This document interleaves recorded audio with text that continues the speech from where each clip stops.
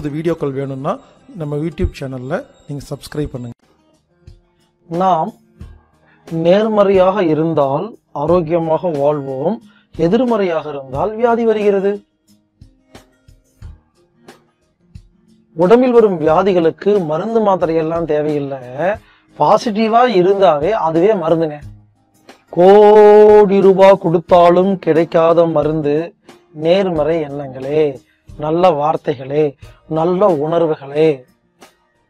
உணர்வுகள் இரண்டு வகைப்படும். நல்லது கெட்டது. பாசிட்டிவ் நெகட்டிவ் நமது உணர்வுகள் ஃபீலிங்ஸ் நல்லபடியாக இருந்தால் நாம் ஆரோக்கியமாக மட்டும்தான் வாழ்வோம். எந்த வியாதி வந்தாலும் தன்னைத்தானே குணப்படுத்திடுங்க அதாவது அன்னை தெரசா இருக்காங்க இல்லைங்களா? இருந்தாங்க இல்லையா? அவங்க கிட்ட போய் ஒரு குரூப் கேட்டாங்களாமா? தீவிரவாத ஒழிப்பு போராட்டத்துக்கு தலைமை தாங்க வாங்கன்னு. அந்த அம்மா சொன்னாங்களாமா நான் வரமாட்டேன் அப்படின்னாங்களாமா சாரின்னாங்களாமா ஏன் அப்படின்னு கேட்டப்போ அந்த அம்மா சொன்னாங்களாமா தீவிரவாத ஒழிப்பு போராட்டம்னு பேர் வச்சு நடத்துறீங்கல்ல நீங்க நடத்தினாவே தீவிரவாதம் அதிகரிச்சிரும்னு சொன்னாங்களாமா புரிஞ்சுதுங்களா? அதாவது வறுமையை ஒழிப்போம் அப்படின்னு யாரெல்லாம் கத்துறீங்களோ வறுமை அதிகமாகும். ஏனென்றால் வறுமைங்கிற வார்த்தையை தான் உச்சரிக்கிறீங்க.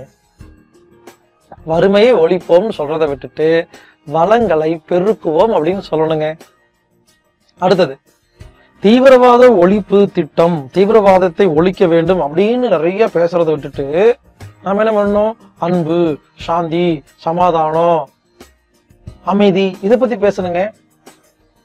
அன்னை தெரசா அம்மா சொன்னாங்களாமா தீவிரவாத ஒழிப்பு போராட்டத்துக்கு நான் வந்து கலந்துக்க மாட்டேன் அப்படின்னு. உடனே அவங்க ஏன்னு கேட்டப்போ அது நெகட்டிவா இருக்கு அப்படின்னு சொன்னாங்களாமா. உடனே சொன்னாங்களாமா அமைதிங்கிற வார்த்தை இருந்தா அதுக்கு என்ன கூப்பிடுங்கன்னு. உடனே அமைதி போராட்டம்னு வச்சு போனாங்களாமா அதுக்கு வரமாட்டேன்னாங்களாமா. என்னம்மா நீங்க தீவிரவாதத்துக்கு வரமாட்டேங்கிறீங்க அமைதிக்கு வரமாட்டேங்கிறன்னு கேட்டப்போ அந்த அம்மா சொன்னாங்களாமா அமைதின்னு வச்சிருக்கீங்க அடுத்து என்ன போராட்டம்னு வச்சிருக்கீங்க வரமாட்டேன்னாங்களாமா. எதுக்கு போராடணும்னு கேட்குறாங்களாமா அவங்க சொல்றாங்க அமைதி பேரணி அப்படின்னு இருந்தா கூப்பிடுங்கன்னாங்களாம். ரெண்டுமே பாசிட்டிவா இருக்கணுங்க. அன்னை தெரசா வாழ்நாள் முழுவதும் கலந்து கொண்ட அனைத்து நிகழ்ச்சிகளுக்கும் அமைதி அப்படிங்கிற பேர் இருந்தால் மட்டும்தான் வந்திருக்கிறாங்க. எவ்வளோ பெரிய நாலேஜ் அந்த அம்மாவுக்கு. எனவே நண்பர்களே புரிந்து கொள்ளுங்கள். நமக்கு என்ன வேணுமோ அதை பற்றி மட்டும்தான் பேசணும். நமக்கு என்ன வேணுமோ அதை பற்றி மட்டும்தான் ஃபீல் பண்ணணும். அதை மட்டுமே உணர வேண்டும். நமக்கு அது கிடைக்கும். நமக்கு என்ன வேண்டாமோ அதை பற்றி பேசி பேசி என்ன பண்ணுறோம் அதெல்லாம் நமக்கு வந்துருதுங்க அதனால இனிமேல் நாம் பாசிட்டிவாக வாழ்வோம். கண்டிப்பாக நாம் உடல் ஆரோக்கியமாக மட்டுமே இருக்கும். சில பேர் பேசும்போது கேளுங்க என் பையனை எப்படியாவது கஷ்டப்பட்டு நான் படிக்க வச்சிருவேன். ஏங்க கஷ்டப்படுறீங்க? ஜாலியா படிக்க வைங்கன்னு சொல்லுங்களேன். ஜாலியா படிக்க வச்சிடலாம் கஷ்டப்பட்டு படிக்க வச்சிருவேன். பாடுபட்டு படிக்க வச்சிருவேன். போராடி ஜெயிச்சிருவேன். நம்ம சொல்றதே முதல் நல்லா இல்லைங்க. நீங்க புரிந்து கொள்ளுங்கள். இந்த உலகில் மிகப்பெரிய சாதனை செய்த யாரும் கஷ்டப்பட மாட்டாங்க போராட மாட்டாங்க பாடெல்லாம் பட மாட்டாங்க ஜாலியாக ஜெயிப்பாங்க.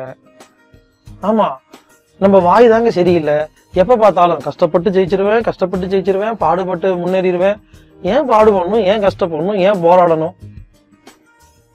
பாசிட்டிவாக இருந்தால் போராடாமல் கஷ்டப்படாமல் கிடைக்குங்க.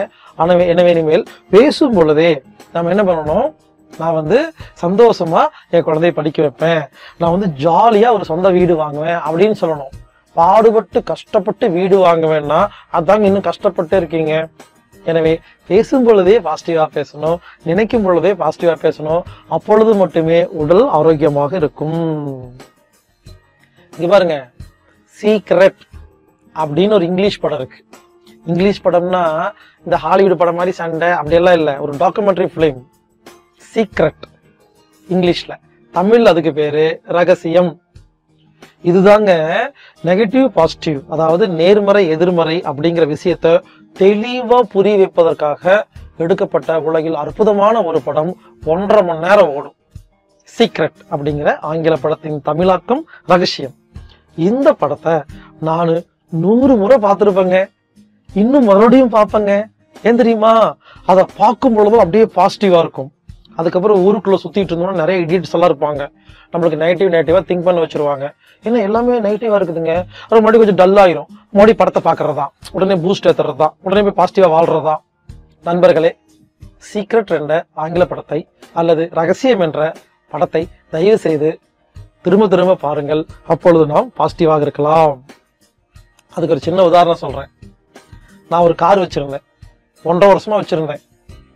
அதை விற்றுட்டேன் வித் வாங்கினார்ல அவர் என்கிட்ட கேட்குறாரு காசு கொடுத்துட்டாரு ஸ்கீ எல்லாம் கொடுத்துட்டேன். அவர் என்ன கேட்குறாரு ஸ்டெப்னி எங்க இருக்குங்கன்னு.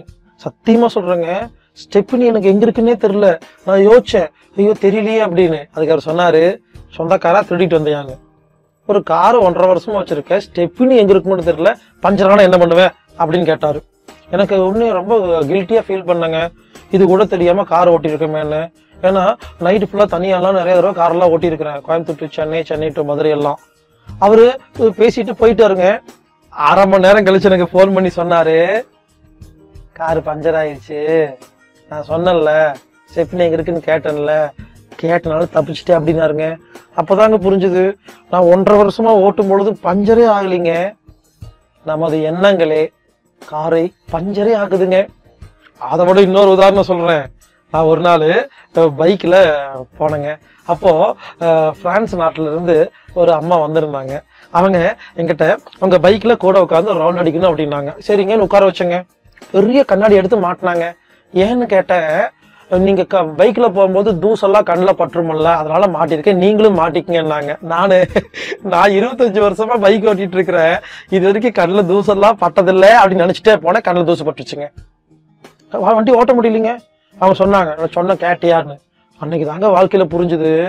தூசு இருபத்தஞ்சு வருஷமா இருந்திருக்குது.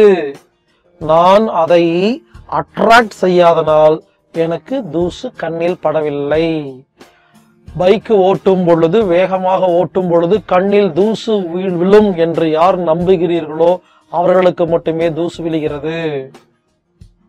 இதற்கு பெயர் த லா ஆஃப் அட்ராக்ஷன் ஈர்ப்பு விதி ஈர்ப்பு விதி தத்துவமே இந்த உலகத்தில் அனைத்தையும் முடிவு செய்கிறது. நண்பர்களே உங்களுக்கு வந்த அனைத்து வியாதிகளுக்கும் அனைத்து துன்பத்திற்கும் அனைத்து கோபத்திற்கும் காரணம் வேறு யாரும் கிடையாது. நமது ஈர்ப்பு விதியே காரணம். எனவே இனிமேல் நல்ல விஷயத்தை மட்டுமே நினைப்போம் நல்ல விஷயத்தை மட்டுமே பேசுவோம் நல்ல வார்த்தைகளை மட்டுமே பேசுவோம் நல்ல ஃபீலிங்கோட வாழ்வோம். உடல் ஆரோக்கியமாக மட்டுமே இருக்கும்.